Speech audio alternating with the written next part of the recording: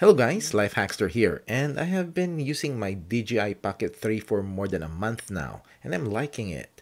One thing that I want to add though is an Arca Swiss type plate so that I can easily use it with my tripods.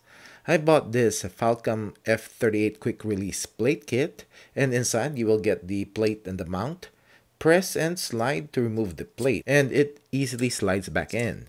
You also get a hex wrench, a couple of Allen screws, and washers.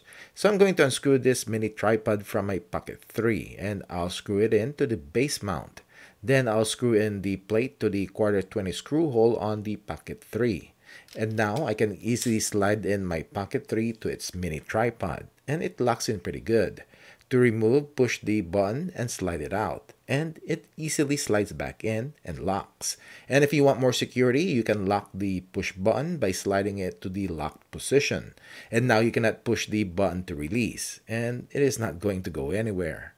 Also, this doesn't affect the Pocket 3 when you place it in its case.